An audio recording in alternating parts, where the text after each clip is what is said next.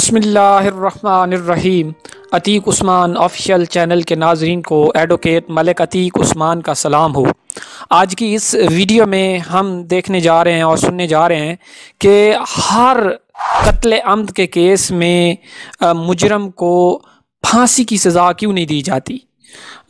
क्योंकि आपने अक्सर देखा होगा कि कत्ल हुआ होता है, कत्ल अमद हुआ होता है, लेकिन जो उसका मुजरम होता है, करने वाला होता है कत्ल, उसको जुर्म साबित होने पर भी उसको कसास के तौर पर फांसी की सज़ा या ताज़ीरन उसको फांसी की सज़ा नहीं दी जाती।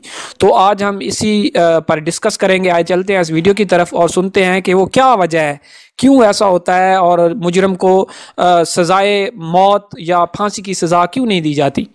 तो अगर आप इसको देखें पाकिस्तान पीनल कोड में, ताज़ीरत पाकिस्तान में तो इसका जो सेक्शन है थ्री ज़ीरो टू तीन सौ दो इसके अलग आगे फिर क्लास हैं। तीन सौ दो क्लास ए फिर तीन सौ दो क्लास बी और तीन सौ दो क्लास थ्री सी इस तरह ये जो तीन सौ दो क्लास ए है उसमें जो पनिशमेंट है, वो बताई गई है किसास।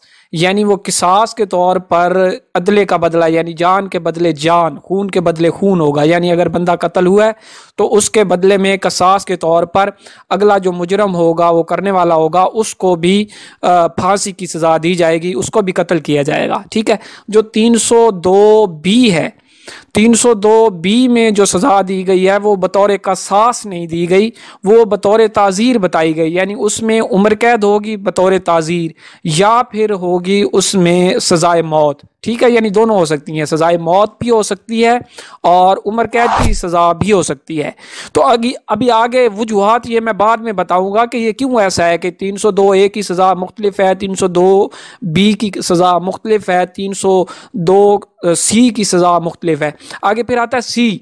अभी सी जो है 302 क्लास सी इसमें जो सज़ा दी जाती है वो 25 साल तक दी जाती ना तो इसमें आ, होती है उम्र कैद और ना ही इसमें फांसी की सज़ा होती है। इसमें अगर सज़ा दी जाती है तो 25 साल तक, यानी इससे कम भी हो सकती है 24 22 10 15 ये यानी ये डिस्क्रिशन है कोर्ट की, कि वो जिस तरह देखेगी केस को जिस नोयत का उस हिसाब से वो सज़ा तजवीज़ करेगी। यानी 25 साल तक होगी 25 साल से ज़्यादा नहीं होगी। अब हम देखते हैं कि ऐसा क्यों है? कि ये 302 ए जो है, इसमें कसास के तौर पर फांसी है। 302 बी में जो है, वो ताज़ ताज़ीरन उसमें सज़ाए मौत है या उम्र कैद है और तीन सौ दो सी में जो है, वो सज़ाए मौत है ना उम्र कैद है, उसमें सिर्फ़ पच्चीस साल तक सज़ा है।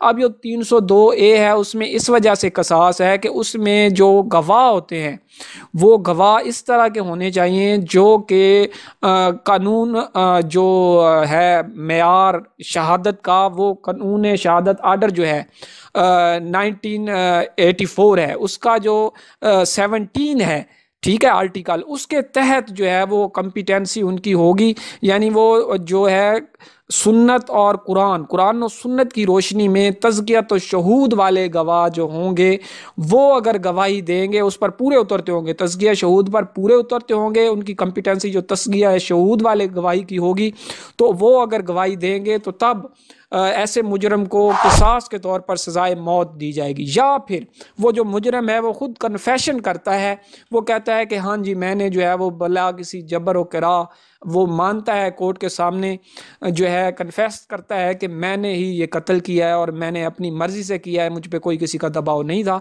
मैंने खुद किया है कत्ल, ठीक है? और उस बेस पर भी उसको जो है, वो किसास के तौर पर 302 ए में सज़ाए मौत दी जाएगी।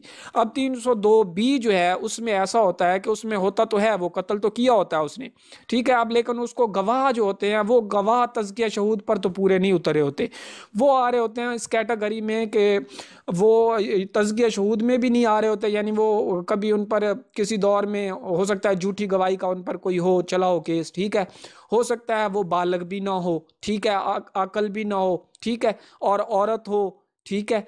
तो उसके बाद ये ये है कि जो डिवाइसेस हैं मॉडर्न डिवाइसेस यानी कैमरे हैं सीसीटीवी इसके ज़रिए से कोई शहादत ली गई है तो उस पर भी जो सज़ा होगी, वो किसास के तौर पर सज़ाए मौत नहीं होगी 302 ए में नहीं होगी, वो 302 बी में होगी, चाहे वो सज़ाए मौत हो या उम्र कैद की सज़ा हो, ठीक है, ये दोनों सज़ाएँ उसमें होगी, लेकिन वो एज ए ताज़ीर होंगी, ठीक है।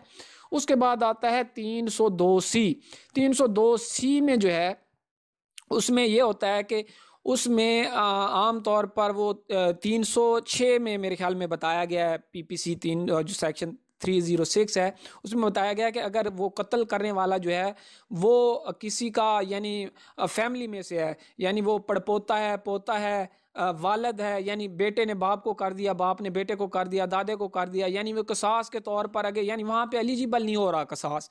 तब ऐसी सूरत में जो है वो सज़ा जो है वो तीन सौ दो सी के मुताबिक दी जाएगी ठीक है? या प्रोवोक हो गया बंदा जो है इश्ताल में आ गया फ़ौरन उसने सोचा समझा उसका कोई मंसूबा नहीं था। उसने कोई आ, ऐसा हुआ कि उसकी किसी किसी ने उसको उसके सामने उसकी माँ को या उसकी बहन को गाली दे दी वहाँ उसको गुस्सा आया। तो उस फ़ौरन गुस्से की बिना पर उसने को कत्ल कर दिया, उसकी माँ को धक्का दिया या उसकी माँ के साथ कोई जुल्म किया, या उसी के साथ, या फिर वो खुद सेल्फ डिफेंस के तौर पर जो है, वो उसने किसी का कत्ल कर दिया, लेकिन सेल्फ डिफेंस असल में तो जनरल एक्सेप्शन में आता है। ठीक है, लेकिन यहाँ पर भी वो कुछ बताई हैं उन्होंने कि उससे तजावज़ नहीं किया करना, कुछ हदूद बताई हैं। तो लेकिन वो जब उस हद से तजावज़ कर जाएगा तो फिर वो तीन सौ दो सी में आएगा, उसको सज़ा मिलेगी। ठीक है, फिर वो सज़ा जो है, वो डिस्क्रिशन पे होगी कोर्ट की, और वो नोयत देखेगी किस हालत में इस मुलजम ने, मुजरम ने जुर्म किया है। फिर उस हिसाब से वो पच्चीस साल तक की सज़ा देगी। ठीक है? उम्मीद है इस छोटी सी वीडियो में आपको ये पता चल गया होगा कि हर मुजरम जो होता है कत्ल उसको सज़ाए मौत या फांसी की सज़ा क्यों नहीं दी जाती? ठीक है? तो अगर आप इसी तरह की मज़ीद वीडियो ला रिलेटेड और इन्फॉर्मेटिव देखना चाहते हैं तो जल्दी से चैनल को सब्सक्राइब कर लें, ताकि हर आने वाली नई ला रिलेटेड और इन्फॉर्मेटिव वीडियो आप तक बसानी पहुँच सके। मिलते हैं इसी तरह की ला रिलेटेड और इन्फॉर्मेटिव वीडियो के साथ। उस वक्त तक अल्लाह हाफिज़।